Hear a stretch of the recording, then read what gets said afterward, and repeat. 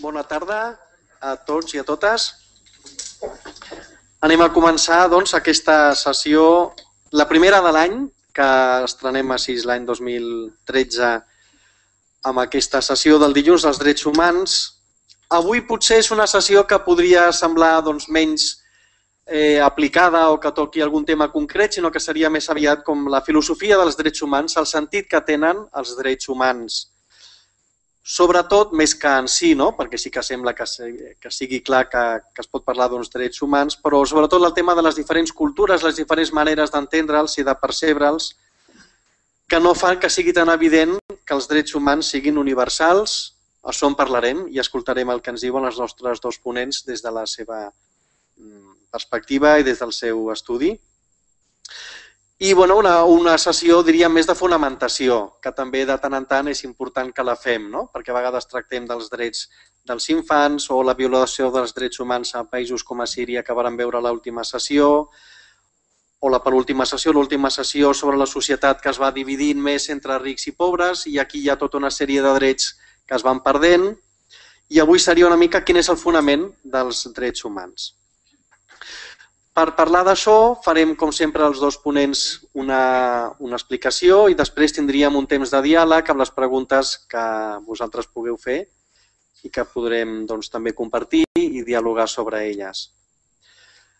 El, la primera part l'explicarà l'Eduard Ibáñez, que és director de Justícia i Pau, com ja sabeu, la majoria de vosaltres veniu des de Justícia i Pau i també el coneixeu bé, per tant no cal presentar-lo massa, però ell pot aportar des de les dues vessants, que és doctor en dret i ha treballat com a advocat i també és llicenciat en filosofia. Per tant, com deien, doncs, hi ha aquesta vessant doble del dret i de la filosofia que fonamenta doncs, tot allò que respecta als drets humans. Doncs li passem la paraula perquè ens pugui situar una mica en aquest àmbit. Gràcies, Llorenç. Bona tarda. Eh, normalment molts de vosaltres em veieu aquí, normalment com a presentador de les sessions, no? i avui faig aquest paper una mica diferent, que és de doncs, compartir una reflexió. Això em fa que em senti una mica incòmode, no? perquè doncs, el meu rol és diferent. Jo us he de confessar que no, jo no volia fer aquesta sessió, jo participar com a ponent en aquesta sessió, sinó que la meva intenció és que hi hagués aquí un professor de dret. Aquí tenim un professor de filosofia, que és l'Ignasi, després el presentaran més, i jo volia que hi hagués un professor de dret però la persona que havíem pensat doncs, no, no anava bé i al final els companys de Cristianisme i Justícia em diuen per què no ho fas tu, que ets advocat i què tal. I bueno, doncs van insistir i em vaig... Com que és un tema que m'agrada, que m'interessa, però eh, jo sóc, encara que sigui mm, doctor en dret, que sona molt, molt d'això, en realitat jo sóc un simple advocat i em sento més un advocat que un, que un investigador, que un pensador, tot això em queda lluny. Per tant, em sentia una mica incòmode també, no? per tant us ho confesso d'entrada. I com que em sentia una mica incòmode, ah, per una altra raó també, perquè l'Ignasi ha sigut professor meu a la Facultat de Filosofia, per tant, encara em sentia més incòmode. Què diré? Què diré que estigui incorrecte? Ja ho corregirà ell, per tant. Eh, però com que em sentia una mica incòmode, l'he portat escrita. Jo no acostumo, quan faig xerrades, a portar-les escrites, improviso, però com que aquest tema, ja us he dit que és bastant... Em sento incòmode perquè és complexa, perquè és molt complexa perquè és més filosòfic que jurídic i com que encara que sigui llicenciat en, dret, en filosofia no sóc tampoc professor de filosofia, doncs dic, aquí ho escriuràs. Així que em perdonareu ja d'entrada, que potser serà una mica soso, potser us puc avorrir, espero que no sigui massa llarg el que vull llegir, però bueno, en tot cas si veig que m'allargo doncs eh, retallaré algun paràgraf i, i si no s'entén ja, ja ho explico després.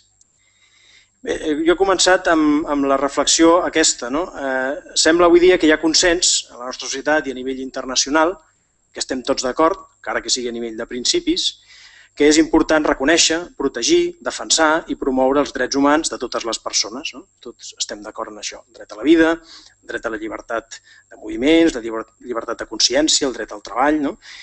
I per això aquests drets doncs, estan reconeguts en tots els tractats internacionals i en les lleis, en les constitucions, lleis cada cop més desenvolupades. Estic parlant, eh, estem d'acord tots en això, però això és a nivell de principis. Clar, la realitat és diferent, no? Fins i tot en els països més democràtics doncs, veiem cada dia com es vulneren els drets humans, civils i polítics, socials i culturals de moltes persones i també dels pobles, i més en els actuals temps de crisi. No? Aquí ho hem parlat moltes vegades en aquestes sessions. I veiem cada dia doncs, violacions de drets comeses per autoritats polítiques, per governs, per lleis, per tribunals, per policies, per, persones també que violen drets humans amb homicidis, amb agressions, amb violacions, etc etc etc. Per tant, jo ara estic parlant no de la realitat, sinó a nivell de principis. A nivell de principis sembla que estem tots d'acord, no? a nivell de conviccions, de discursos de lleis, eh, i avui dia cap estat ni cap força política renega ni rebutja els drets humans. S'han convertit en quelcom que tothom diu que reconeix i que tothom diu que respecta. No? Però encara que estiguem d'acord en això, en realitat mm, en el que no estem d'acord normalment o molt sovint és determinar per què aquests drets, per què aquests drets han de ser reconeguts, protegits, respectats a tot arreu i per tota persona. En això ja no sempre estem tan d'acord. En justificar per quina raó podem exigir aquests drets. No només esperar que es compleixin, sinó exigir-los. I no sempre hi ha consens mm, en aquest sentit pel que anomenem el que aquí hem titulat el per què, on el fonament, no? que és la paraula que jo utilitzaré moltes vegades, no? en el fonament dels drets humans. En això ja no estem sempre tan d'acord o no estem tan d'acord tots. I és el motiu d'aquesta taula de debat. No? Quin és, des dels nostres punts de vista, que jo crec que seran força coincidents els que estem aquí a la taula almenys, i crec que vosaltres també, vaja, estic segur, eh, quin és per nosaltres el fonament, el per què, el motiu de per què hem de respectar-los, protegir-los, reconèixer-los, aquesta és la qüestió, el per què, la justificació. I això no és una qüestió solament teòrica. No és una qüestió solament teòrica que interessi només a, a sociòlegs o a filòsofs o a juristes. Per cert, avui és eh, Sant Ramon de Penyafort, patró dels juristes.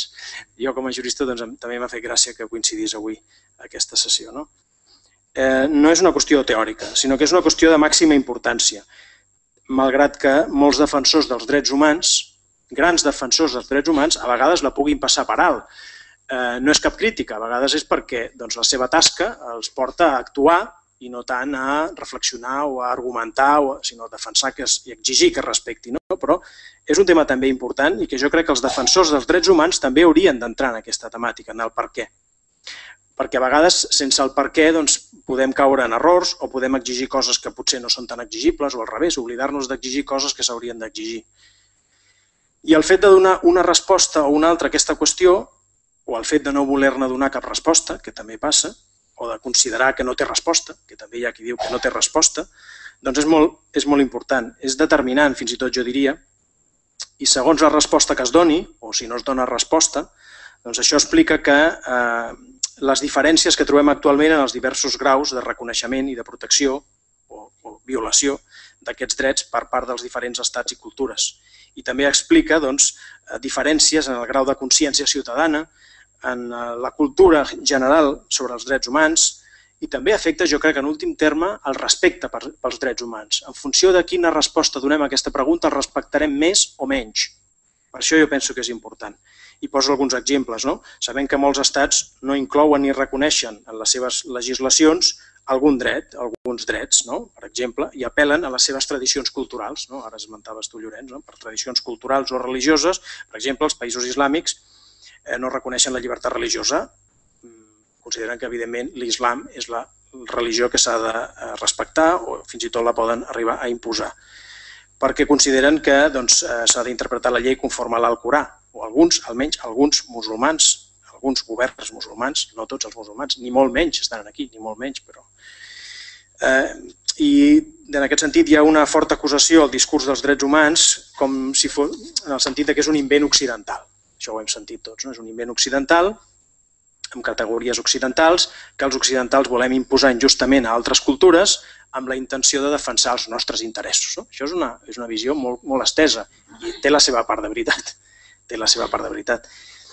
Però mm, bueno, aquí es mostra que hi ha maneres diferents d'entendre què són els drets humans, clar. Perquè els occidentals pensem que s'han de complir a tot arreu.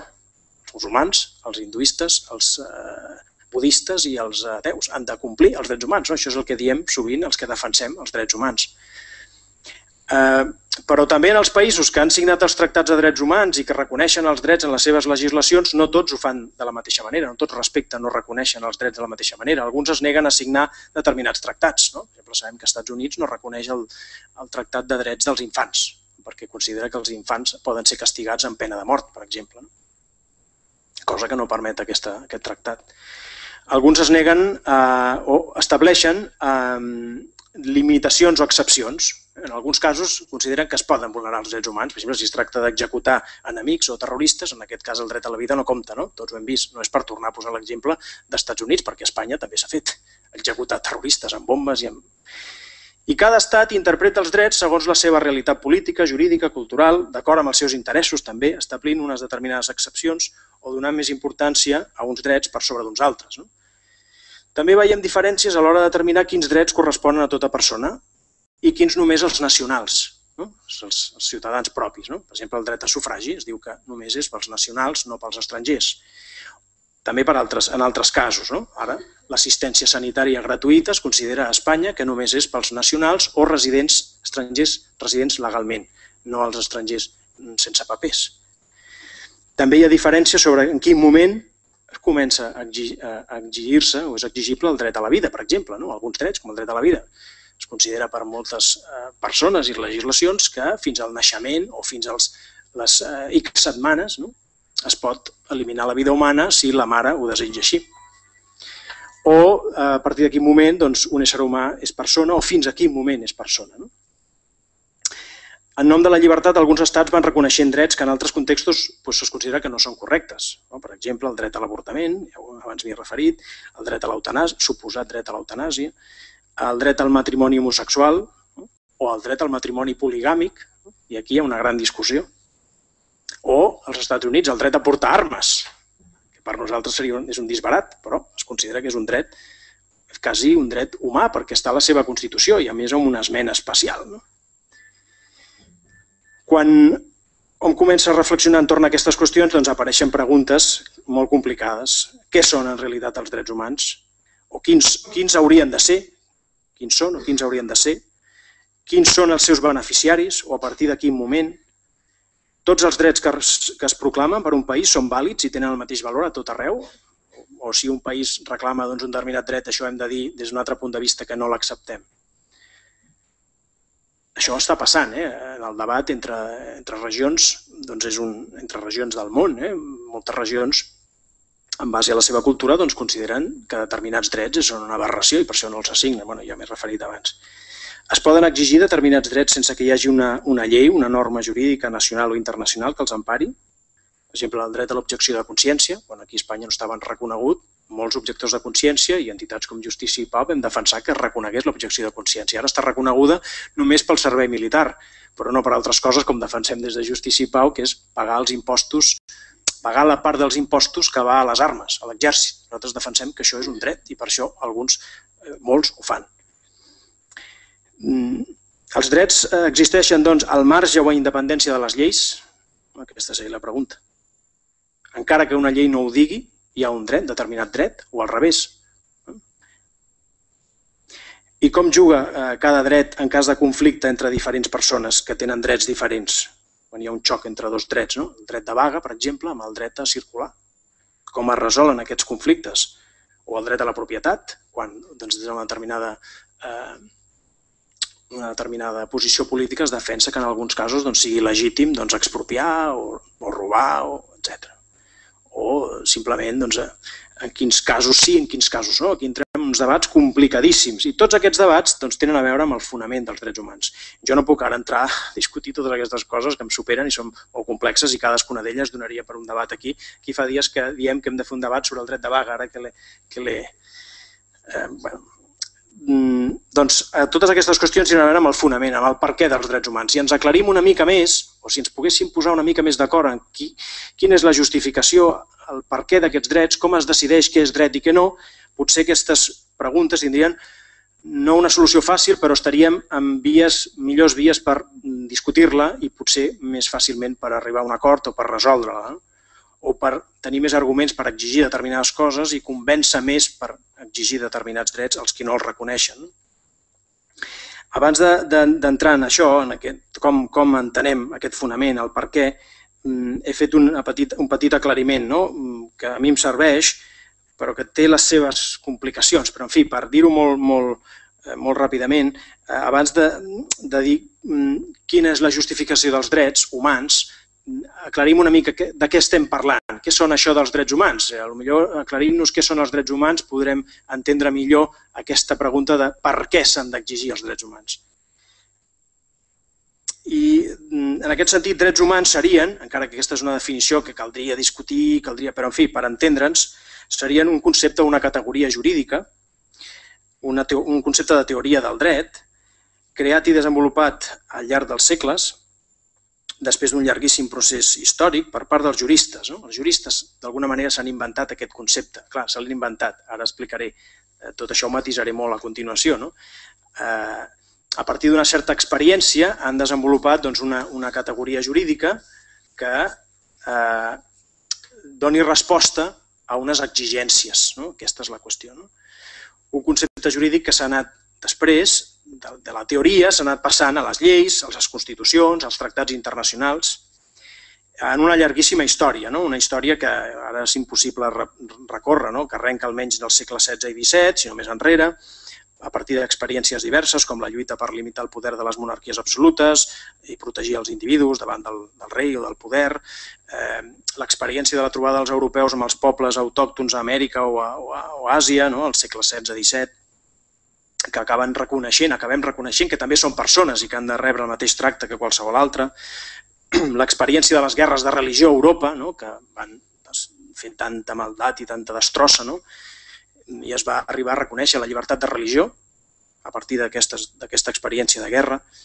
Eh, després, evidentment, tot el, el temps de la il·lustració, de les revolucions liberals i democràtiques, revolució francesa, americana, etc i l'exigència de sotmetre el poder polític a la llei i a la voluntat dels ciutadans, posar límits, no? posar límits al poder. Ells van creant així doncs, aquests drets i tot això té com a punt culminant la terrible experiència dels totalitarismes, dels genocidis del segle XX, la, la Primera i la Segona Guerra Mundial, no? aquesta catàstrofe, que porta doncs, a reconèixer a la comunitat internacional un estàndard universal comú de protecció de la dignitat de tota persona, utilitzant aquesta categoria de dret humà.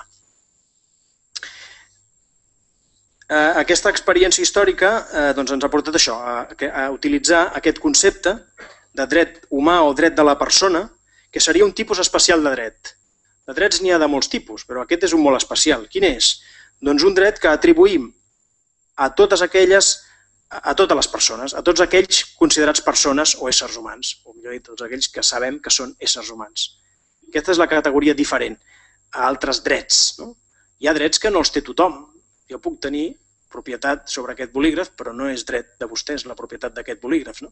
O puc tenir doncs, un cotxe, o puc tenir un rellotge, això és el dret de propietat meu. Els drets humans eh, tenen la diferència de que són de tota persona sencers. Tot dret humà és de tota persona. En aquest sentit, doncs, eh, mm, d'alguna manera aquests drets es donen a, tota, a tot ésser que considerem que té naturalesa humana, que és de la condició humana. I en aquest sentit, doncs, els atribu... si són drets que té tota persona pel fet de ser persona, doncs els tenen mentre són persones, mentre visquin i fins que deixin de viure. I per tant no depenen de la voluntat de ningú ni de la mateixa persona. Els tenen, els té tota persona, encara que no vulgui. Si és d'una persona pel fet de ser persona, és pel fet de ser persona, no si li agradi més o menys o si vol renunciar més o menys a tenir-lo. No? Això ens portaria molt lluny, però ara per entendre'ns. I per tant, doncs diem, els juristes diuen que són drets imprescriptibles, imprescriptibles que no caduquen, no caduquen mai que són irrenunciables. Jo no puc renunciar al dret a la vida, al dret a la llibertat, al dret, no em puc vendre com a esclau. Que són inalienables, també. Jo no el puc vendre, no el puc cedir. Eh? No depenen de la meva voluntat, no hi puc renunciar. No es pot, no es pot cedir aquests drets, ni a canvi de diners, ni a canvi d'un sou, per exemple, no? com doncs, molt de temps ha passat. Persones que venien al seu treball i, i, i per tant també cedien, renunciaven als seus drets humans a canvi d'un sou, un treball i un sou. Bé, doncs veiem aquest tipus especial de drets, no? i a partir d'aquí doncs, s'entén millor la pregunta que jo ara feia, que feia al principi, que és la que vull respondre, i no sé quant de temps porto ara. Veure si vaig anant al gra. Eh, la pregunta, doncs, pel fonament és podem exigir èticament i políticament a tota persona, institució i a tot poder polític, en tot país i tota cultura, que reconegui, respecti, promogui i protegeixi uns determinats drets humans? I per què? Sigui, uns determinats drets d'aquests que considerem que són de tota persona pel fet de ser persona i mentre sigui persona. I a la història, doncs, aquesta pregunta doncs no la faig jo aquí avui. És una pregunta, aquí hi ha algun jurista també, que s'han fet eh, els juristes i els filòsofs des de fa segles, segles, i s'han donat moltes respostes, i el debat encara és viu. Eh? És impossible fer ni un, ni un petit resum de les respostes múltiples que hi ha, quasi tant com pensadors en aquests moments del dret. Des de doncs, eh, les les, la concepció inicial a la filosofia política del segle XVIII, que veia els drets humans com a quelcom existent o derivable del dret natural o de la naturalesa humana, i això és el que jo ara al final acabaré d'alguna manera defensant amb algunes matisacions, fins passant per la concepció com una exigència derivada de principis ètics racionals, de la raó, no? que han de guiar la voluntat humana, com unes, també com unes obligacions de la comunitat política, o entesos com un pacte, un pacte polític, pacte nacional o internacional, de mutu reconeixement de respecte entre persones o entre pobles. No? Alguns, fins i tot, doncs, la resposta de que és un pur fet derivat de la història de les lluites socials. Doncs les lluites socials ens han portat això, com podria haver portat una altra cosa, i demà portaran una altra. No?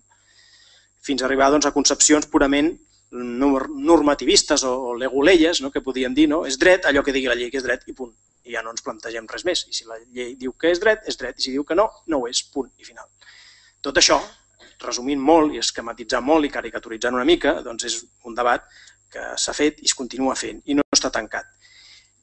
I mm, doncs, és veritat que totes aquestes respostes doncs, tenen les seves, els seus interrogants. No podem identificar un discurs, una tesi que sigui allò que ens...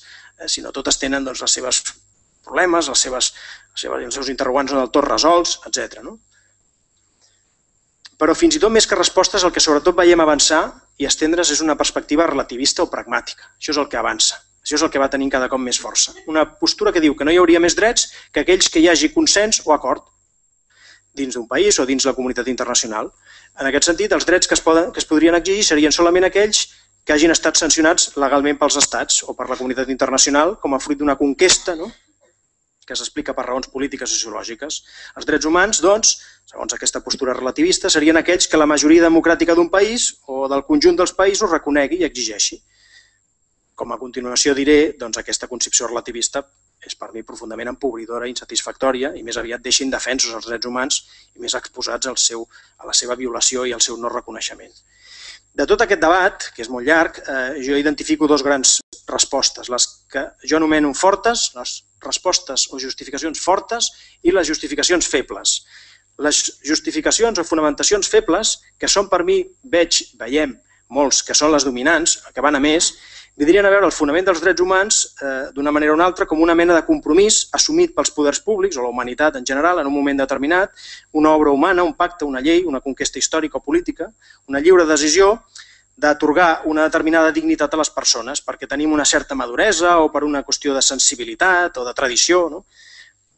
Hem de dir clarament, almenys des del meu punt de vista, que si aquest fos l'únic fonament, els drets humans estarien exposats a tota mena de violacions i a tota mena de destruccions, perquè si són una obra humana i decidim reconèixer-los perquè ens sembla bé, el dia que decidim destruir-los també ens haurà de semblar bé. Si el seu fonament o justificació és un simple pacte, o, una, o perquè ho diu la llei, o perquè hi ha consens, o majoria, o perquè és un estat d'opinió, difús, doncs clar, no, no, res no impedeix que un dia, amb un altre pacte, una altra llei, un altre consens al revés, no? doncs puguem decidir suprimir-los i per tant doncs, ningú pot exigir a ningú altre ningú pot exigir a cap altre país que el respecti, perquè si és un pacte nostre, és nostre, no podem exigir-lo a ningú. No? Si allà no és pacte, si allà no és llei, si allà no és consens, si allà no és opinió majoritària, doncs allà, perquè els hem d'exigir allà. No?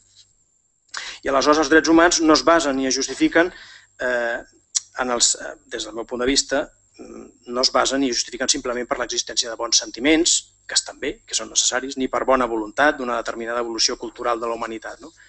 Això serien les justificacions febles. Les fortes, doncs són molt diferents. Les fortes serien aquelles que entenen que el fonament, el perquè dels drets humans no és una simple decisió lliure, un caprici o una, ni un invent més o menys arbitrari, sinó que el com que la voluntat humana o política ha de reconèixer necessàriament, que són exigibles amb independència de si, si eh, de si hi ha un pacte o no hi ha pacte, de si hi ha consens o no hi ha consens, si hi ha llei o no hi ha llei, si hi ha una conquesta històrica o no. no? Aquestes són les, són les concepcions fortes i aquestes són les, per mi les més interessants i les que són més necessari defensar en aquest moment. Entenem, passa que també n'hi ha diverses d'aquestes, però en tot cas són, aquesta és la línia que jo crec que ara hem de defensar. Aquestes concepcions fortes entenen que els drets humans són exigibles perquè racionalment cal reconèixer-los com una realitat prèvia, la realitat de l'ésser humà, i de la convivència humana, que els necessita i els pressuposa. El meu pare, el fonament dels drets humans ha de ser un fonament fort, ho acabo de dir, si es vol que siguin realment exigibles èticament i si es vol que realment siguin universals, que siguin a tot país, a tota cultura aplicables.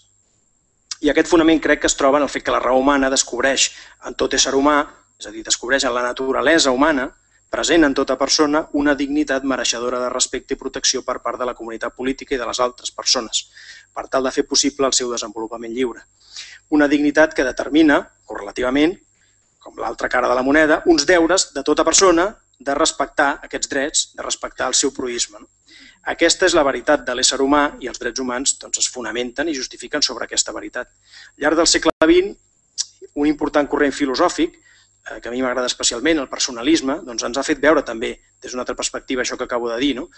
Ens ha mostrat que l'ésser humà és un ésser relacional, que solament es constitueix en la relació entre, amb els altres éssers humans. La persona, com diria Buber, és un jo-tu, som jo, tu, no som jo, i després hi ha els altres, no som jo, tu, alhora. I solament en la mesura que reconeix els altres com a tu, mai com una cosa, com un objecte, no? doncs només així doncs, eh, és natural doncs, que si no es vol contradir la pròpia naturalesa de la persona, si no em vull contradir a mi mateix, doncs sóc cridat a respectar l'altre com a un mateix en clau de reciprocitat. Aquest tu que, que descobrim no pot ser tractat com, com un objecte, ho acabo de dir, sinó de forma coherent amb la seva posició, dignitat i eminència. La nostra relació amb aquest tu, que ens constitueix, doncs consisteix essencialment en un trobament, en reciprocitat, en resposta a l'altre, aquest tu, i ens revela, en definitiva, un tu etern, com diria Martin Buber. Tot això inevitablement s'ha de traduir en certes exigències per l'ordre social i polític, que és el que anomenem doncs, un ordre social just, respectuós de la dignitat de les persones. Aquesta dignitat de la persona, en últim terme, prové del fet que la seva existència, la de cada persona concreta, és un do i així ho veig i així ho entenc. És quelcom que ve donat per una misteriosa realitat superior, que els cristians anomenem Déu, causa incausada de tot el que existeix, i per tant l'ésser humà doncs, no pot ser mai un objecte per a qualsevol finalitat de tercers ni de ningú, ni de l'Estat, evidentment.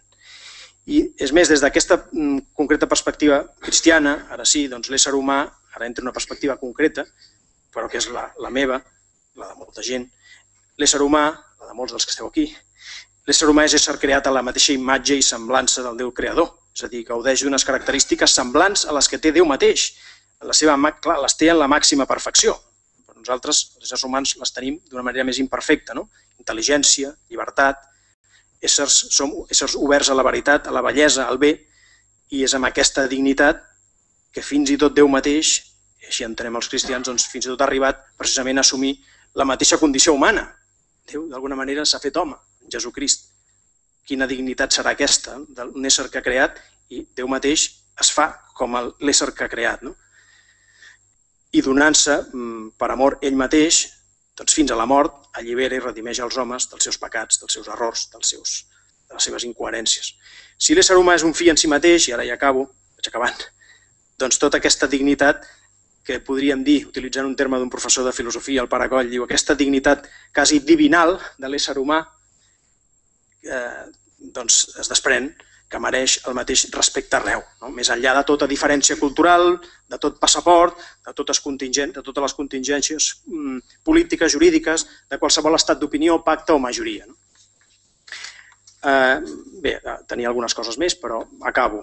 Mm, crec que avui dia tenim necessitat d'un fonament fort pels drets humans, com aquest o similar, formulat de forma prou oberta, i adequada com perquè pugui ser àmpliament compartit i constitueixi una base sòlida per al respecte als drets humans de la manera més àmplia possible.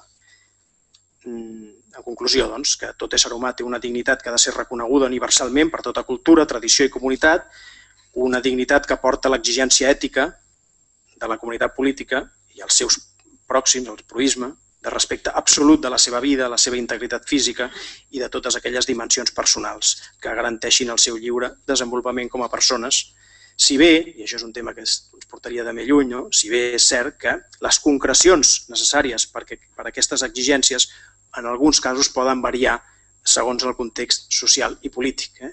Això, evidentment, eh, ho he dit així com una cosa final, donaria per molt més. No? Els drets humans són universalment exigibles, però hi ha circumstàncies que facin que l'exigència pugui, la concreció d'això pugui variar en un moment o una cultura diferent. I així acabo. Moltes gràcies, Eduard.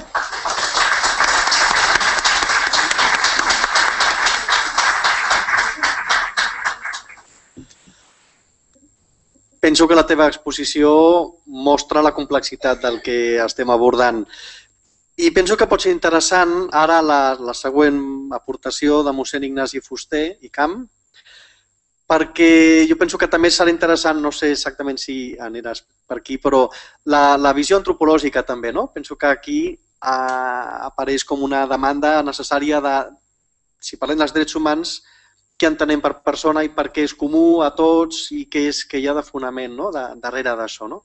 I què podem compartir entre les diferents cultures. Si no ho abordes, ho tractarem després, m'agradaria que sortís. Eh? Perquè penso que per aquí hem de, hem de treballar una mica o hauríem de, de tractar aquesta qüestió. En tot cas, ara la, la següent presentació serà de mossèn Ignasi Fuster, que és rector de la parròquia de Sant Celoni, i que col·labora a la comunitat del Cenacle, una comunitat d'origen italià que treballa per la rehabilitació de drogadictes i persones que tenen altres addiccions.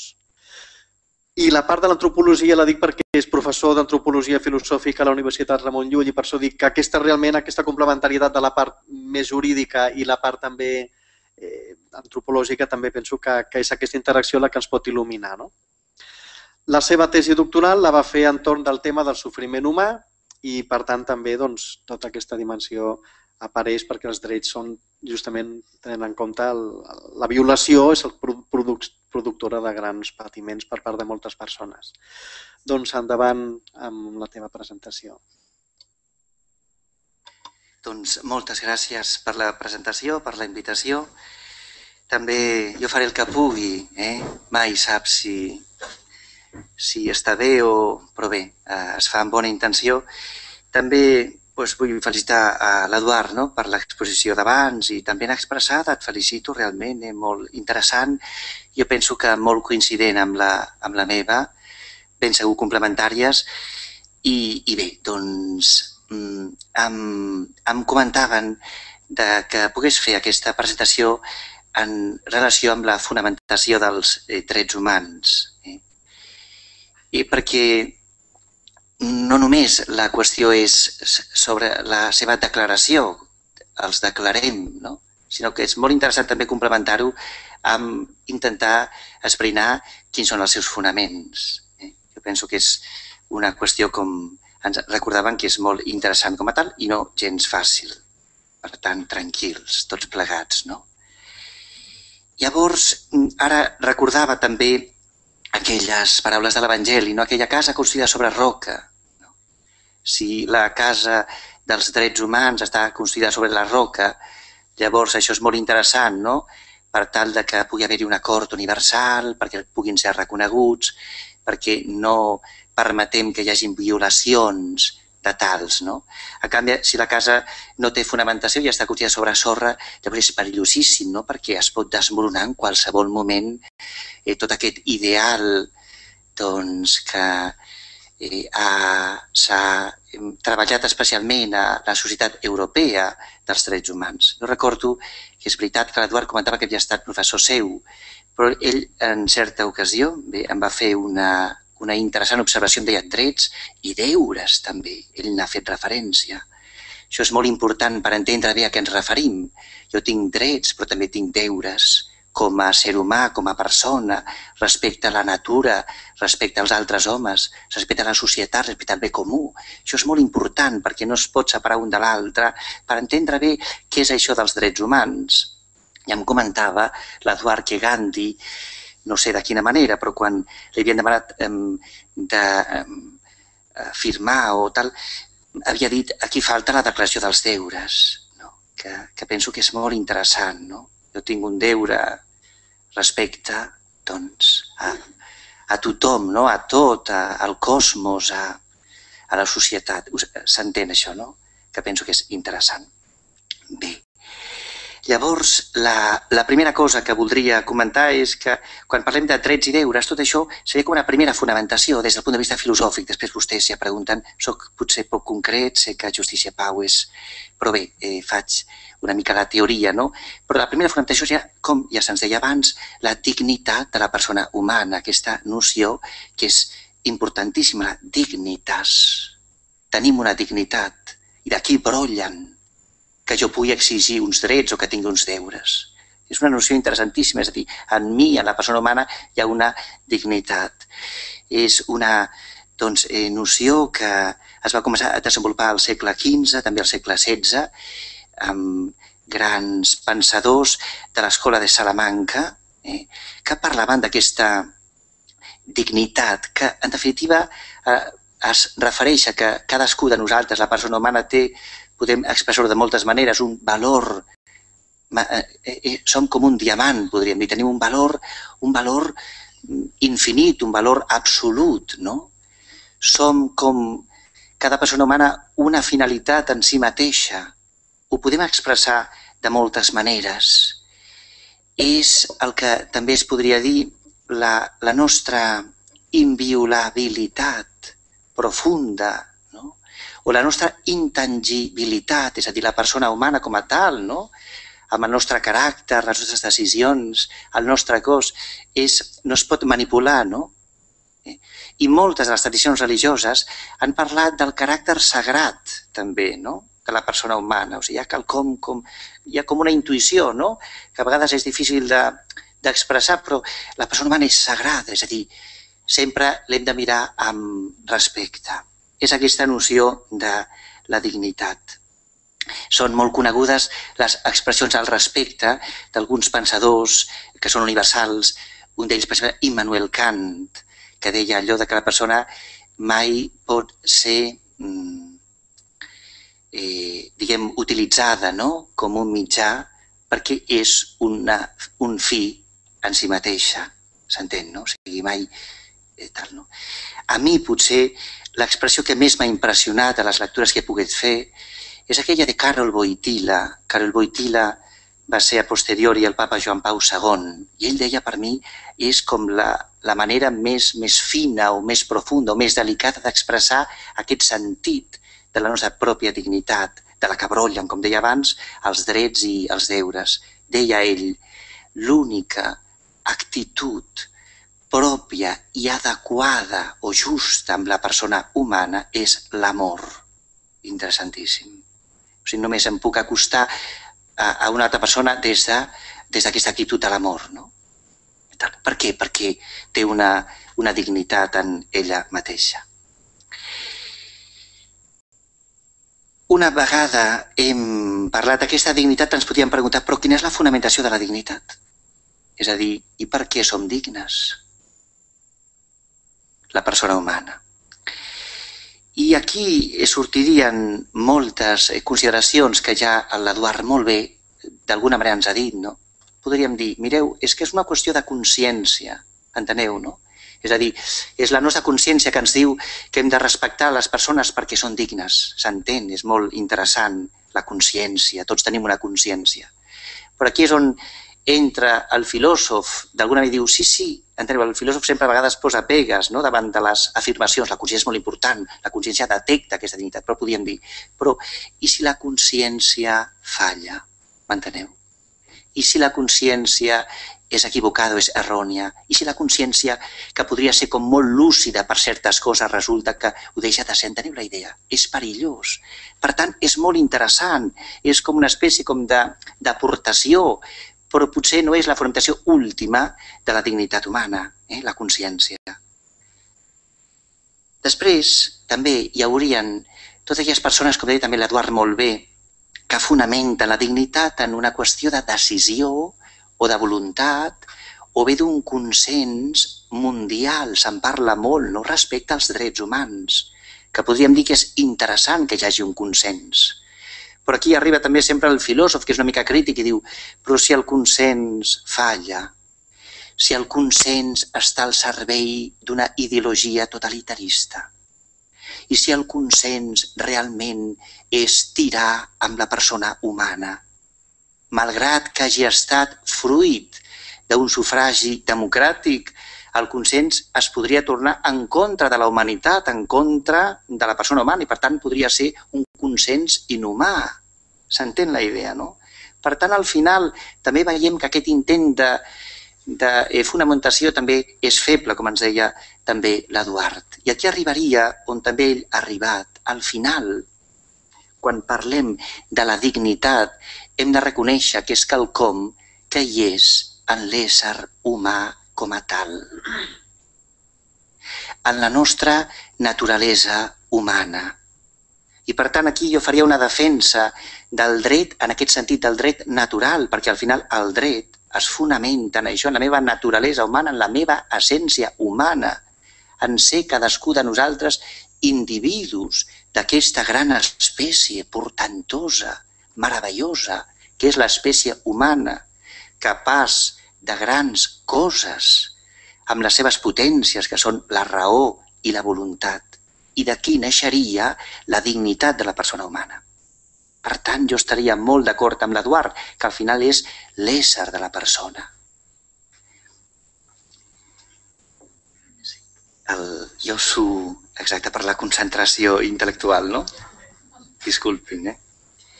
Però fixeu-vos que és, és interessant en aquest sentit, perquè ara jo faré com una mica l'explicació eh, clàssica de la fonamentació de la dignitat humana. Els clàssics deien que es fonamenta en les nostres grans potències espirituals, la raó i la voluntat. Per tant, la nostra naturalesa espiritual, deien ells. Si nosaltres som capaços de conèixer i d'estimar, vol dir que també la persona humana és mereixedora de que sigui coneguda i estimada per si mateixa, deien els clàssics. Enteneu la idea? És molt interessant aquest raonament. És d'alguna manera el poder que tenim nosaltres de la raó i de la voluntat la que em parlaria de que tenim una naturalesa espiritual i, per tant, digna i sempre mereixedora de ser respectada per ella mateixa i, per tant, de ser coneguda i estimada per si mateixa. Així ho deien els clàssics i penso que és un raonament molt interessant al respecte. És a dir, la dignitat no la decidim, no la declarem nosaltres, no la consensuem, ens ho deia també l'Eduard, molt bé, estat atent al seu discurs perquè ha estat fantàstic, sinó que la descobrim quan estem davant d'una persona humana, encara que no pugui pensar per la feblesa de la bellesa, encara que ella no pugui decidir, perquè ja no pot, però és una persona digna, que en el seu moment ha pogut pensar, raonar i decidir en favor dels altres. Eh? Seria el que s'anomena aquesta naturalesa espiritual nostra. I vaig acabant, també ara connectant, amb la darrera fonamentació. Fixeu-vos que primer he parlat de es fonamenten en la dignitat, després en la naturalesa humana i al final hauríem de dir que la darrera fonamentació estaria, com molt bé també l'Eduard, ho sento Eduard, eh? que et citi constantment perquè t'he seguit, estaria en Déu, que seria justament el creador de totes aquestes capacitats nostres i d'aquesta naturalesa. De fet, el Concili Vaticà II dona la clau quan en la seva Constitució Gaudium et Spes, quan parla de la criatura humana, ho diu amb unes paraules que ho diuen tot la persona humana, o la criatura humana, em sembla que diu exactament, és l'única que ha estat estimada per si mateixa, per Déu, i per tant d'aquí brolla la seva dignitat. I per tant també nosaltres hem de respectar-la i conèixer-la i estimar-la per si mateixa. No? Penso que és interessant aquestes paraules de Gaudium et Spes, de fet, ara ja quan estic eh, acabant, és molt interessant, sempre que explico antropologia també als alumnes que tinc a classe, sempre dic, tota l'antropologia està continguda al llibre del Gènesi. Hi ha un moment al llibre del Gènesi on es capta d'alguna manera, no surt el concepte de dignitat, però es capta perfectament que l'home és una criatura especial, que té una dignitat única, que és, diríem, que és um, sagrada, no? Tal, no? No sé si vosaltres ara penseu una miqueta i recordeu el llibre del Gènesi, el, el relat, no? Fixeu-vos que quan arriba el Senyor, Déu va creant diverses criatures, Però quan arriba la creació de l'home i de tot es va dient i va veure, es va complaure perquè era bo. Fantàstic, perquè eh, totes les criatures, per tal, només per tal d'ésser, ja són bones. Però quan arriba el cas de, de la criatura humana, comença a parlar amb ella. No havia parlat amb les altres. Per què? Perquè té una dignitat especial. Sigueu facunds i multipliqueu-vos el deure, etc. Us, us poso en les vostres mans tota la creació per teniu el deure de tenir cura de la creació. Fixeu-vos que és molt interessant perquè el llibre del Gènesi no parla tant del dret, sinó que comença parlant dels deures. Però bé, també darrere del deure també hi ha els drets. No? I al final, quan acaba, la cre... quan acaba la creació de la criatura, Déu reconeix aquesta meravella que és el ser humà i diu que va veure, va contemplar que era no només bo, sinó molt bo. Fixeu-vos que amb, amb un llenguatge, diguem, com una mica de, com si fos una espècie d'explicació, de, de narració de conte, tal, tal. Jo sempre ho he dit, no? cuidado amb el llibre del Gènesi, l'hem de llegir en profunditat perquè es descobreixen tots els aspectes fonamentals antropològics del ser humà, aquesta dignitat. Acabaré només amb dues apreciacions. Una és una petita lectura. El papa deixa molt clar que al final, al final, al final, la fonamentació última, tant de bo, no sé si podrem aconseguir la societat contemporània, moderna, europea, aquí hi ha grans problemes, pogués reconèixer que al final el garant últim de la dignitat és Déu, però això és un problema, manteneu la idea, no? Cuidado, sóc molt respectuós perquè el tema, i acabaré amb una petita apreciació, però fixeu-vos com ho reconeixia a la humilia de, eh, de, de Nadal, el papa, fixeu-vos, jo quedo impressionat, no com ho diu tan ben dit.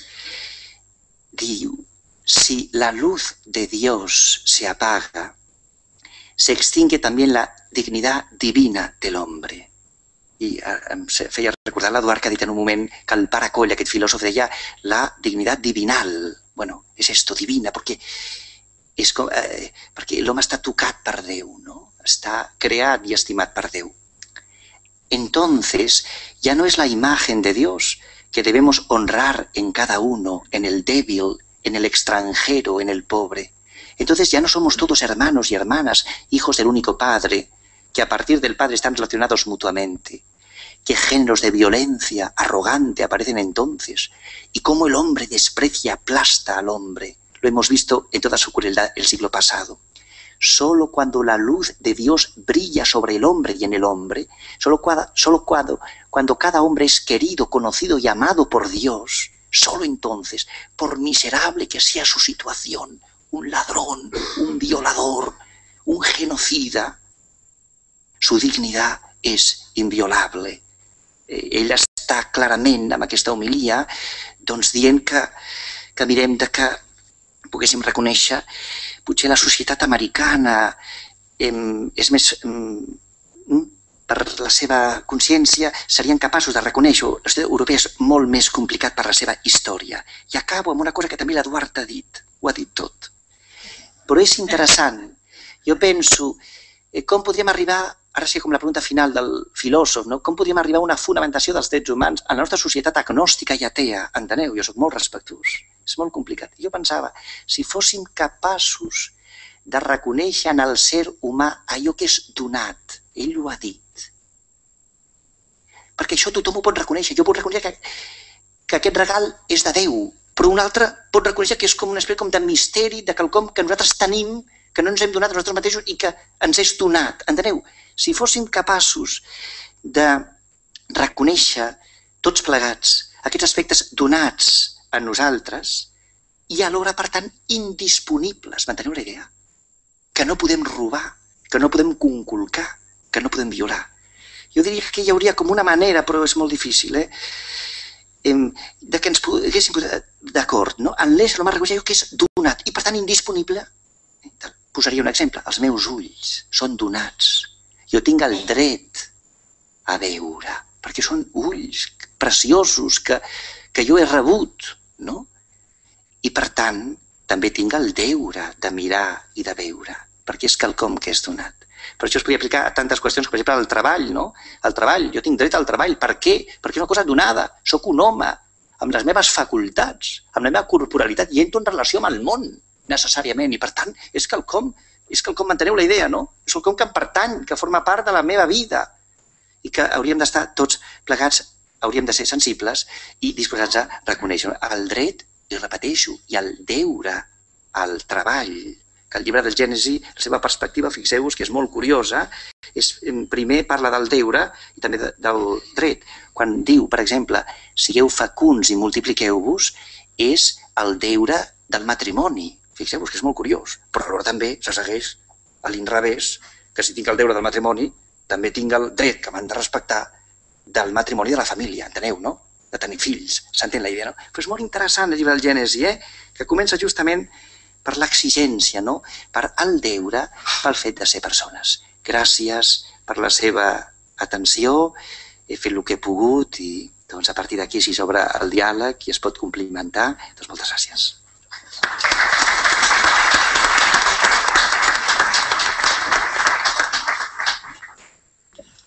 Moltes gràcies, Sant Ignasi, perquè realment sí, hem complementat, jo crec, eh? malgrat han sigut dos punts de vista que s'han complementat molt bé i que calia, no? perquè realment el debat i, i la qüestió és, és difícil. Ara, si, vola, si volen vostès, eh, seria un moment perquè tinguem un temps de diàleg i de debat, doncs jo prendré nota i, i potser si hi ha diverses persones fem una primera tongada i després faríem alguna altra la Revolució Francesa el paper que ha tingut en l'elaboració dels drets humans. Alguna altra pregunta? I si no, passem ja de les dues primeres preguntes i després seguim. Ara ve, ara ve la part més difícil, perquè clar, un pot parlar, dir el que vol i s'ha acabat, però quan li plantegen qüestions és quan eh, has de fer l'esforç i, i has d'intentar, doncs, i mostres també les teves interrogants. No? no sé massa respondre a aquesta qüestió, és precisament la gran qüestió. No? Com entre cultures diferents eh, doncs això, veiem les coses diferents. Això és un fet. És un fet. Les religions marquen a vegades punts de vista diferents o una cert, un cert rebuig de la religió doncs, també està marcant una altra manera de mirar les coses. No? I doncs tenim un acord de mínims, això és el que tenim. Ara no ens conformem ni ens hem de conformar amb un acord de mínims, almenys a mi em sembla. No? I hem de fer l'esforç d'anar generant cultura dels drets humans. És a dir, intentar fer l'esforç de mm, eh, que la gent doncs, s'interrogui per el sentit de la vida i pel sentit de la, i per la veritat de la persona i de l'essència humana. I en, el, en aquesta interrogació oberts, oberts a, a, a no a mantenir-se en les pròpies posicions a tota costa, sinó oberts a, a, a la veritat, en definitiva, oberts a la veritat és com potser podem veure-la si ens tanquem. No? Ara, evidentment, no sempre acabarem a lo millor en molts casos en què no tindrem acords. Bueno, pot passar, no? Mm, evidentment, doncs, eh, clar, el fet de que no hi hagi una suficient cultura dels drets humans explica les seves sistemàtiques violacions. Si hi hagués un, una major eh, consciència de la dignitat aquesta que, que també explicava el pare, Ignasi, no? aquesta consciència de la dignitat humana. En tota persona, si tota persona tingués aquesta consciència que ell acaba de descriure, evidentment les violacions serien molt menors. O potser si tothom tingués aquesta visió serien eh, impossibles. No? I el que cal és anar, doncs jo crec, des de les organitzacions que defensem els drets humans i des de l'Església, les entitats d'Església, hem d'intentar eh, ajudar acompanyar a que hi hagi cada cop més consciència i més cultura de la dignitat de la persona i a la llarga això ha de donar els seus fruits. Potser durant molt de temps, en moltes coses, doncs tindrem discrepàncies amb altres religions, però el futur qui el sap, no? Mm, no sé, ja sé que no responc massa, no? però tampoc ho pretenc perquè la Revolució Francesa, això ja això ho haurien de respondre els historiadors del dret, els historiadors de, de la política a Europa. A veure, la Revolució Francesa va ser un moment fort, però no és una cosa que vingui no és una cosa que vingui, diguéssim, eh, per casualitat, va ser preparada per tota una sèrie de corrents polítics i filosòfics molt profuns. Llavors, la revolució el que fa és eh, fer aquesta declaració i a continuació fer unes matances increïbles. vull dir que, clar, eh, vull dir, la revolució, ara, és veritat que, bueno, eh, va ser un pas important i després moltes declaracions de drets es van inspirar en això. Però hi ha una declaració anterior a la francesa, que és la de Virgínia, la dels Estats Units, que declaren abans els drets que la, que la, que, que França. No? Vull dir que és, és un moment molt, molt, molt important, però venia molt de darrere i sobretot el que ha vingut després ha sigut la seva universalització i la seva, eh, diguéssim, enfortiment, però encara estem molt lluny, lògicament, de, dels mínims. Jo crec que estem lluny dels mínims encara, evidentment. Molt bé, només eh, feia referència als interessos, als interessos que hi ha, interessos globals, interessos sobretot econòmics, no? Interessos també ideològics moltes vegades, no? I, bueno, eh, jo el que pensava és que justament tota aquesta mentalitat d'interessos, clar, tot això mata els drets humans. Perquè justament, quan parlem de dignitat de la persona humana, justament la persona humana és la que no és objecte d'interessos, ho hem dit abans sinó que ha de ser una finalitat en ella mateixa. És a dir, que això és un problema avui en dia realment, no? perquè amenaça completament aquesta mentalitat d'interès, no? El que és el respecte de la dignitat humana. Aquí hi ha una distinció filosòfica que és interessant. No? El, eh, el, es parlava de... Hi ha béns que són útils i hi ha béns que són honestos. La persona humana no és objecte d'interès, no és un bé útil, és útil per, no? M'interessa perquè jo pugui aconseguir, sinó que és un bé honest. I aquest concepte filosòfic de bé honest és que és un bé en si mateix, s'entén la idea, no? Per tant, clar, tota la raó en aquest sentit. I respecte a la, a la Revolució Francesa, no? Sí, jo, jo penso que el, és, el, és vostè no que ha preguntat, no? Sí, no? Tal, tal. sí, sí, jo crec que va significar un avenç en aquest sentit amb el seu lema, no? la fraternitat, la igualtat, per exemple, i després també la llibertat, no? Les, per tant, la conquesta de, la, de les llibertats, la llibertat de consciència, la llibertat eh, religiosa, etc.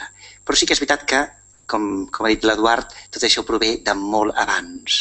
Eh? Ja des de... Exacte, no? Podríem parlar des de l'època clàssica, grega, medieval també, el mateix renaixement també, l'escola, com deia abans, de Salamanca, doncs ja van posant els fonaments dels drets humans. Més preguntes? Aquí hi ha una, aquí hi ha una altra. Val. Aquestes quatre de moment i després passaríem. Molt bé, moltes gràcies per les quatre intervencions. Eh, si voleu respondre. I gràcies pel que han sigut també intervencions que heu aportat encara més elements al, al debat i al diàleg, que també és interessant. Bueno, no sé si podré contestar les quatre o cinc que han sortit, dic algunes coses. Um, a veure, el, el, el silenci, evidentment. O sigui, aquí, eh, evidentment, una de les grans mm, causes de la, de la vulneració massiva de drets humans és el silenci dels que no els vulneren o no els vulneren tant, o no els vulneren tant. No? Diguéssim que, la, que la gran, el gran repte és, jo, jo he utilitzat aquesta expressió, no? anar generant una cultura dels drets humans i a la mesura que hi hagi major cultura i major consciència de la dignitat de la persona, més es podran respectar. I això inclou, entre moltes altres coses, vol dir la denúncia, la denúncia eh, exhaustiva i sistemàtica davant de qualsevol vulneració. Així ho intentem fer Eh, els que ens dediquem a això, no? però és patrimoni de tothom. Els que no es dediquin a això professionalment o, o perquè estan integrats a una organització, doncs en el seu entorn o des del que ells eh, entenen han de... Es, jo crec que tothom està cridat a fer sentir la seva veu de denúncia o de proposta, en algun cas, per resoldre problemàtiques que atenten contra els drets humans. I, evidentment, aquest és el gran tema. Però jo he començat la meva exposició dient que si no hi ha una cultura, si no hi ha una consciència de quin és el fonament, el per què fem això, pot passar que doncs, ens cansem o potser tinguem ràpidament veiem excepcions o ràpidament fem passar abans els nostres interessos, que això ens passa segurament a tots, no? I per tant, doncs, una bona manera de ser més conseqüents, més exigents, és eh, aprofundir més en, la, en el fonament d'aquests drets. No? Bueno, aquesta és la, la idea que jo bàsicament he volgut transmetre. No? bueno, més coses... Mm, eh, què més? No tinc jo per aquí. Eh, sobre la, la posició de, de, del Vaticà sobre els drets humans. Jo crec que és molt clara, eh? i a més el que hem dit aquí jo crec que més o menys està en sintonia amb el que és eh, una posició de, la, de lo que anomenem la doctrina o magisteri social de l'Església des de fa molts anys. La defensa acèrrima, acèrrima tots els drets. Això no vol dir que l'Església sigui sempre coherent, com no ho és ningú ni que tots els cristians, que no és així, que no és així, siguin coherents amb aquesta defensa, evidentment. Ni totes les institucions cristianes, ni dintre de la mateixa església. Sempre s'és coherent. eh? aquí deixo apuntat el tema, però a nivell de, de, de principis i de textos i de discursos i d'esperit de, i, de, i, de, i de conviccions, en aquest sentit, jo crec que el conjunt de l'Església és una gran defensora en aquests moments en el món dels drets humans en múltiples situacions, en múltiples continents, tant a Europa com doncs, en altres llocs on són encara més trepitjats. bueno, no sé on són més trepitjats en aquests moments, no? però que és un dels grans actors en aquests moments que defensa els drets humans i que ho fa en aquesta perspectiva que jo crec que aquí plantejàvem, que ho fa de, defensant la dignitat de l'ésser humà eh, basant-se en la seva veritat com a ésser eh, creat a imatge i semblança de Déu, eh, com a exigència de respecte a la seva naturalesa de fi i no d'instrument, etc. Aquest és un dels grans, en aquests moments, un dels grans actors. Evidentment, ni l'únic, potser no és el més important, però que ho és. Insisteixo, amb totes les seves contradiccions, que podem parlar-ne aquí. Mm, I llavors això em lliga, em lliga amb l'última pregunta, no? Eh, però fins a quin punt, eh, si des de l'Església, els cristians, els creients, eh, reclamem aquest fonament que en últim terme trobem en Déu, no? eh, els drets humans, quina, com podem, si això és efectiu, no? em sembla que deia, no, això és efectiu, podem trobar, doncs potser no és efectiu, potser no, no ho sé. Eh, a, mi, a mi sí que em sembla que, que no podem renunciar a, a expressar que per nosaltres aquest és el fonament. No podem renunciar a això. Jo crec que ho fem massa sovint. Altra cosa és que després ens trobem que des d'una altra perspectiva això no es veu. Respecte total i diàleg, perquè potser des d'una altra perspectiva ens faran veure coses que nosaltres no hem vist. Però jo crec que no podem renunciar i a vegades per, aquest, per un accés de prudència, vostè ha dit ser, ca, eh, ser cauts, sí, però per un accés de prudència no renunciem a expressar les nostres conviccions. I si nosaltres pensem que perquè els drets humans siguin més efectius, més respectats a tot arreu, els hem de fonamentar en últim terme en això, doncs eh, expressem-ho. Perquè mm, jo sí ho penso, és a dir, una fonamentació solament en el consens no és suficient i fàcilment són, eh, hi ha escletxes i hem de dir-ho amb tot el respecte, dir, no, no creiem que el simple acord sigui suficient. Eh, fins i tot no, és que la dignitat de la persona per ella mateixa, sí, però en últim terme, per què hem de respectar la dignitat de la persona? Per què? Per què s'ha de respectar? I molts dirien que no, perquè el seu país o la seva nació doncs està davant d'un perill i ha d'actuar. Ja sé que els altres són dignes, però si jo eh, decideixo que estic en perill, llenço míssils, executo tots els terroristes que calguin i aquí hem acabat. I em proclamo cristià, a sobre. Em proclamo cristià, no? Per posar tants, tants i tants exemples, no? Es podrien posar aquí, no? Jo penso que, que en últim terme hem de, hem de obrir el diàleg a això, al, al, al fonament últim, deia ell, el fonament últim de la dignitat i després doncs, estarem d'acord o no i hem de respectar, evidentment, totes les posicions. Mm recollint aquestes preguntes, el, quan el, parlaves de, del, de la natura, no? eh, feia gràcia perquè justament el llibre del Gènesi no comença d'aquesta manera, fent veure aquest deure que tenim de cuidar la natura. Llavors, molt interessant, no?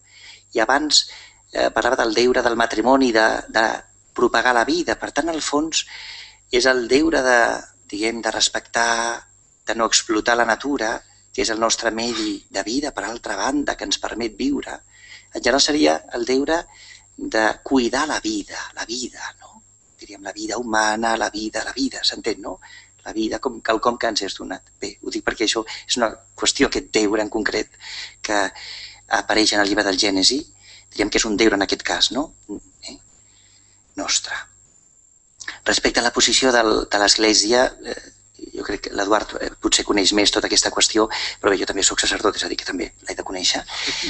Però eh, sí, no, no, eh, clar, jo crec que l'Església està preocupadíssima amb les nostres ombres i contradiccions per la defensa dels drets humans.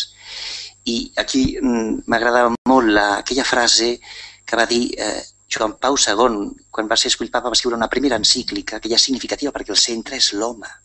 Aquella primera encíclica que ell titula eh, el redemptor de l'home, Crist, redemptor de l'home. Al final eh, nosaltres hem de, hem de mm, ajudar l'home. I deia aquella frase en aquesta que a mi m'encanta sempre, quan parlem de l'Església i a vegades què hem de fer, etc etc. Avui en dia es parla molt de la nova evangelització. Em fa molta gràcia, tots plegats. A vegades estem una mica com neguitosos i tot, no a veure què hem de fer. Però Joan Pau II deia el camí de l'Església és el camí de l'home I això lligaria amb la cita que deia vostè de Gàdium després, no? que al final és, és enaltir l'home, no? és enaltir l'home, no? descobrir tota la seva grandesa. I respecte a la qüestió de Déu, jo crec que he estat acurat quan ho he dit. Jo he fet la meva reflexió teòrica, no? Al final veig que el fonament últim és Déu, no? Ho deia ho comentava. Però després a continuació també he dit això, no? Però la nostra societat europea, agnòstica i atea, com podem arribar a, com a, a un acord al respecte? I deia precisament, comentava això, no? Ser capaços de reconèixer en l'home allò que són regals i que com a regals que tenim que hem de saber respectar. Com una manera de plantejar els drets humans encara que puguem expressar, jo penso, amb una gran llibertat i naturalitat que nosaltres veiem i creiem que Déu és el fonament últim, però a l'hora de dialogar amb les persones que no són creients, penso que un plantejament seria doncs aquest, no?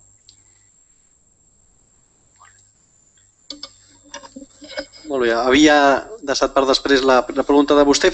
Faríem un parell de preguntes més per no allargar-nos massa, encara que realment veig que anem entrant bastant amb el debat. Faríem vostè i després vostè també.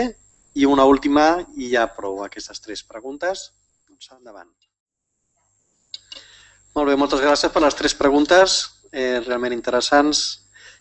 Endavant. Jo només referiré, mm, bueno, el que heu dit, mm, bàsicament comparteixo eh, aquestes reflexions, podríem seguir doncs, eh, debatint. Jo potser només em referiré a la, a la idea que ha expressat el primer que ha intervingut sobre l'amor no? com a base del reconeixement dels drets humans, efectivament. És que és aquesta, no? l'amor per l'ésser humà, entenent la seva dignitat, no podem fer altra cosa que estimar-lo i veure els nostres deures envers aquest ésser humà. Aquesta és la clau, no els meus drets. Llavors no estem estimant res, estem estimant-nos a nosaltres mateixos. La cultura dels drets humans és la cultura dels nostres deures envers de tota persona perquè estimem la dignitat de tota persona. I, si, i evidentment aquesta estimació no és una qüestió purament intel·lectual o teològica o filosòfica, no? també és una qüestió d'experiència. Segons l'experiència que un hagi viscut, doncs se sentirà cridat a estimar. Si un ha viscut una altra experiència, doncs és més difícil que se senti cridat a respectar els drets humans. Això ho hem d'entendre, ho hem de comprendre fins a cert punt, però sense perdre de vista mai que hem d'ajudar a tothom a fer un procés d'avançar cap a la cultura de, de l'estimar i del respectar i dels deures propis i no tant doncs, els meus propis interessos. No? Jo crec que, efectivament, doncs, això, eh, en la, precisament la Revolució Francesa, que abans comentàvem, no? si recordeu, el lema famós era llibertat, igualtat i fraternitat. No? En el fons, fraternitat, sense utilitzar la paraula, però quan dèiem fraternitat, anaven per aquí, estimar-nos perquè som germans i si som germans ens hem d'estimar i ens hem d'entendre i ens hem no i segurament aquesta és la pota més feble de totes les revolucions no s'han exigit llibertats i no parem d'exigir llibertats i llibertats i llibertats exigim la igualtat i no parem de demanar i exigir igualtat i cada cop més i tot això ho hem de fer tant llibertat com igualtat, però no oblidem que sense fraternitat no hi ha ni llibertats ni igualtats. Si no hi ha una base prèvia de que ens considerem germans, fills d'un mateix pare, difícilment podem avançar cap a enlloc. No? Una mica aquesta l'última reflexió. Respecte a aquesta qüestió de l'amor, eh, connectant, jo recordo que una vegada estava examinant en filosofia i vaig parlar de l'amor i automàticament el professor que m'estava examinant em va dir però escolti, vostè ja està parlant d'espiritualitat, no? Com? Té tota la raó en aquest sentit. Jo he defensat moltes vegades que el com que vaig aprendre d'un altre filòsof que per mi ha estat molt mestre, que és Carlos Cardona, un filòsof català, que deia aquella frase per mi tan profunda, l'acte propi de la llibertat és l'amor. L'acte propi, o sigui, això és filosofia pura, és la llibertat humana, manteneu la idea, no? Però jo sempre dic que l'acte propi de la llibertat no és tant l'elecció, sinó escollir estimar. Per tant, la dilecció, la dilecció és una paraula culta, que és escollir estimar, enteneu la idea. Avui en dia es parla del choice, del, de l'escollir, cuidado, és una cosa encara més profunda, no? Lo de l'amor. Molt bé. Respecte a les altres cultures i la nostra cultura, jo crec que és molt important la, el diàleg intercultural o la aculturalitat en aquest sentit, perquè les cultures tenen dignitat. I hem de saber també respectar, reconèixer i aprendre de la dignitat i de la riquesa que ens aporten les altres cultures sense renunciar, lògicament, a la nostra pròpia identitat cultural. Totes les cultures són un camí de recerca per interpretar els misteris de Déu, de l'home i del cosmos. I per tant, en aquest sentit, és interessantíssim no? que hi hagi fraternitat o germanor, diàleg entre les cultures, i no tancar-nos mai en banda davant de l'altra cultura, no? com una espècie de por ancestral al diferent o, o al desconegut. No? I finalment, respecte només la línia vermella, això que hem de les llibertats, i tal, és una visió que a mi no m'agrada gaire. La meva llibertat, lliber, allò que aquella expressió, la llibertat, la meva llibertat comen, acaba on comença la de l'altra. No, no m'agrada aquesta expressió. És una mica un, una concepció individualista de la llibertat. Jo penso que és molt més, lògicament, no? Um, eh, l'altre no pot invair, no? diríem nosaltres, els, els drets de la meva pròpia llibertat, però jo penso que la meva llibertat està oberta, no com tancada i protegint-se davant de la llibertat de l'altre. Això és perillós, aquesta visió. Jo diria que és més bonic entendre que la llibertat està radicalment per l'amor, que dèiem abans, oberta a la llibertat a l'altre. Després, en tot cas, si hi ha algun tipus de, de problema o de, de fricció d'injustícia, parlem-ne, no? però és una altra concepció. O sigui, la llibertat de l'altre per mi és un tresor, és quelcom a descobrir, és quelcom a, a apreciar com a tal, no? Crec que és una visió més correcta i més personalista, com deia l'Eduard abans. I ja està. Molt bé, moltes gràcies a vosaltres dos i al públic també, a vosaltres que heu assistit perquè hem fet un bon diàleg que també es tracta de que entre tots anem fent la nostra reflexió. Convidar-vos al proper 4 de febrer, el mes vinent, tenim una altra sessió del cicle dels dilluns dels drets humans, que fem cristianisme, justícia, justícia i pau, que tenim a l'Arcadi Oliveres, que volem saludar també. Doncs serà sobre un tema concret, però dolorós i sagnant, que és la qüestió del coltan i el conflicte a la República Democràtica del Congo. Doncs jo penso que serà una sessió també per adonar-nos del que passa, de les conseqüències que tenen les actes aparentment quotidians i que convé també que que ens sensibilitzem respecte de tota aquesta qüestió. Moltes gràcies i bona continuació de l'any 2013. Només una cosa, si em permets, gràcies també per les seves preguntes, eh? un honor, les seves preguntes perquè molt interessants i ens ajuden molt. Eh? I tant, moltes gràcies.